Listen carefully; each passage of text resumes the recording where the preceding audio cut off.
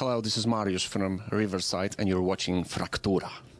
Може ли един творец да бъде иммунизиран от критика? Да, според мен може. Като това даже е задължително за един творец. В противен случай той може да си докара и нервен срив. Ще ви дам пример със себе си, защото понякога си позволявам да чета коментари в интернет. И там е пълно с негативни неща. За творците е добре да осъзнаят, че няма как да задоволят всички хора. Невъзможно е да си харесван от всички. Желателно е да сложиш някаква преграда, защото чуждото мнение ще те съсипе. Като даже може и да поудееш. Какво може и какво не може да скрие един творец? Много е важна тънката граница между това да си истински и това да се преструваш на такъв. Като на творците днес често им се налага да се преструват. Особено, когато се качват на сцената усмихнати, а всъщност са наистина уморени. Това обаче не е нещо фатално. Нещото, което не могат да си позволят е да бъдат неискрени в изкуството, което правят. Хората веднага ще усетят, че ги лъжат. Трябва ли хората на изкуството да се съобразяват с модерното на деня? За да отговоря на въпросът ви, първо трябва да уточня, че изкуството на един истински творец идва от сърцето и душата му. В днешно време средата вече е друга и на хората на изкуството им се налага да се съобразяват с нея. Искат не искат, трябва да са в крак с модерното, иначе само ще си удрят главата в стената. Като това няма да им помогне с нищо. Затова е желателно за всеки творец постоянно да гледа посоката, в която върви обществото ни. Като лично за мен сърцето на твореца е много по-важно от разума му. Има ли нещо, за което съжаляваш, чисто в професионален план? Нещото, което ми се искаше да е по-различно, е това, което се случи с първите ни два албума. Те бяха наистина добри, но финансовите трудности на музикалната ни компания прецакаха всичко.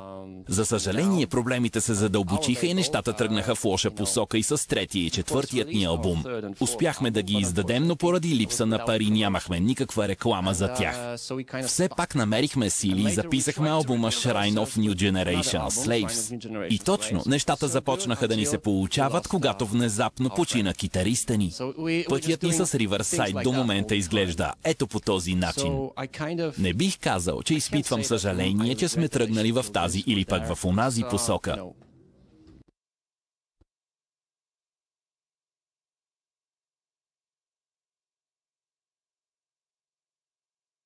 За оцеляване, но аз не съжалявам за абсолютно нищо. Каква е твоята лична дефиниция за изкуство? За мен това е терапия. Изкуството ми помага да оцелявам, изразявайки себе си чрез него.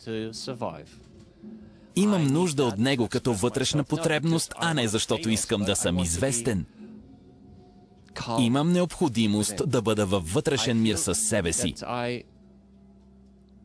У мен има някаква тревожност и напрежение, което трябва да туширам някак.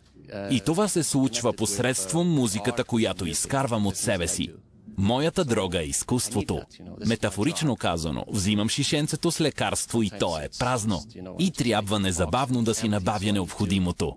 Както казах в началото, дефиницията за изкуство е терапия за мен. Кой беше най-големият ти страх като млад музикант?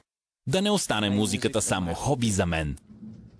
И до там – аз се родих и израснах в много малък град, като той се намира в северната част на Полша. В онзи район няма много опции за развитие. Един млад човек няма какво да прави в малките населени места. Аз много исках да се занимавам с музика и поради тази причина преподавах китара на децата в района. Бях на 25, когато напуснах града с цел да си дам шанс.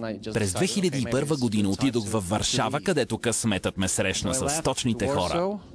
И си дадох сметка, че съм направил правилен ход. Видях, че животът ми даде шанс и вложих цялата си енергия, за да успея. Притеснявал ли си се някога, че може да останеш неразбран от публиката? Имаше такъв период. Обаче с времето видях, че хората ме разбират какво искам да им кажа. И съответно спрях да се притеснявам. Обаче има неща, които ми се иска да разбират по-добре. Едно от тях е, че музиката, която правя, идва от сърцето ми, а не от разума и интелекта ми на индивид. Прогресив рокът е нарочен за интелектуална музика и схващането е, че тя се ражда в главите на музикантите. Искам всички да разберат, че с Riverside не свирим прогресив рок. Точно поради тази причина през 2016 година издадохме албума си Eye of the Soundscape, като неговото послание беше много директно. Съжаляваме прогресив фенове, но с Riverside правим друга музика. Последният ни албум Wasteland е събрал най-важното за нас в момента а именно емоции, вкарани в тъжни песни. Защо светът се напълни с изкуство, което само има претенция за такова?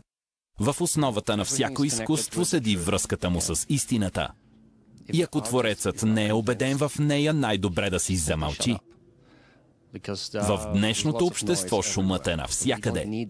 Хората нямаме нужда от шум, който само има претенция за изкуство. Обаче има хора, които правят много пари от него. Масата често не прави разлика между истинското изкуство и това, което му пробутват за такова. Нагледен пример за това са големите онлайн платформи за гледане на филми. Някои от тях предлагат и добри заглавия, но повечето са там само за количество. Отговорът е, че днешният масов потребител го вълнува обема, а не качеството. Защо хората днес са водени от желанието да станат известни? Усещането да си важен се превърна в цел. Хората желаят да са известни дори повече отколкото да имат пари, като е ясно, че едното води и до другото, разбира се. Колкото по-разпознаваем си, толкова повече опции имаш да осребриш това. Хората искат да са известни, без дори да ги интересува с какво. Преди време даже написах песен на тази тема.